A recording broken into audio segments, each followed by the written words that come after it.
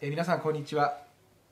命を守る参議院議員の川田隆平です。え今日はえこのコロナえ自粛コロナのあのこの今え緊急事態宣言下においてさまざま自粛をされている方がいらっしゃると思いますけれどもその中にあってまこの一時支援金というのが今えこの政府の国の方の施策として出ております。でこれは皆さんもご存知の通り飲食業の方がこの規模にかかわらずですね休業した場合に1日当たり6万円の給付を受けられるということ。そしてこの飲食業に仕入れしている業者の人たちにも一時的なこの支援金というのが出ておりますが実はそれだけではなくって今このそういった給付対象になる事業者にはですねあの飲食店に仕入れをしている食品加工製造事業者や器具備品事業者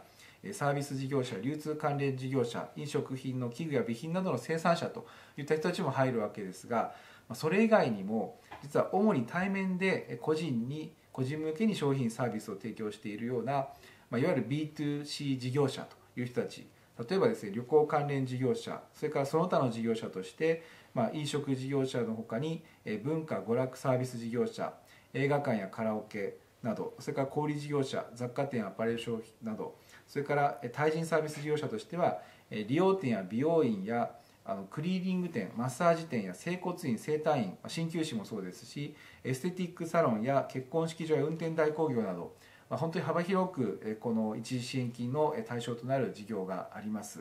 でさらにはこの、まあ、タクシードライバーやバスガイドやイベント出演者だけではなくってあの、まあ、広告事業者やソフトウェア事業者なんかもこれも売上が50%以上減少していればということですけれどもこうした給付対象になりますので、まあ、ぜひ今まであのこの、まあ、先ほどもお話伺った話ではあの飲食業とか飲食業者に卸している会社の人たちだけではないかと思っていた方が結構いらっしゃるということで、まあ、ぜひ広くこの一時支援金の対象になる可能性がありますので、まあ、ぜひそういった事業を営んでいる方でえこの一時支援金の支給を受けたいという方は、まあ、ぜひあの資料もあの貼り付けておきますので備考欄にも入ってますのでえぜひあのこう一時支援金の概要について、まあ、ぜひ皆さんにご覧いただいてえ該当になるという方はぜひあのこの一時金の支給を受けられるようにというふうに思ってえご案内をさせていただきました。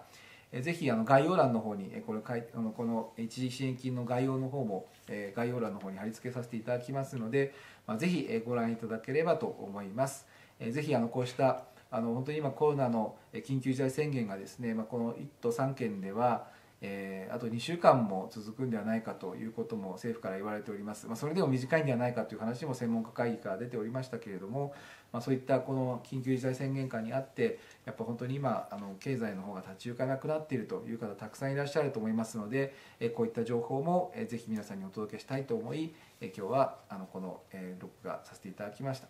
えー、ぜひあの皆さんの、え一時支援金これについての、まあ、ぜひあの聞きたいことがありましたら遠慮なくコメント欄でも、えー、それからメールでも結構ですのでお寄せいただければと思います。よろしくお願いいたします。今日はありがとうございました。